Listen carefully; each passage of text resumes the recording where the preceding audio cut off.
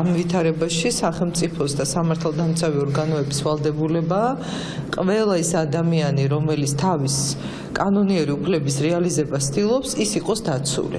კანონდარღვევის შემთხვევაში მოხდეს რეაგირება. ყველაზე ცუდი საყურებელი იქნება, თუ კი იქნება შერჩევითი დამოკიდებულება, რომ ვიღაცამ გადააბიჯა კანონს და იმიტომ რომ მას უფრო მეტად უწევენ ანგარიშს, რჩება კანონის რეაგირების მიღმა, ეს იქნება ყველაზე ცუდი მაგალითი.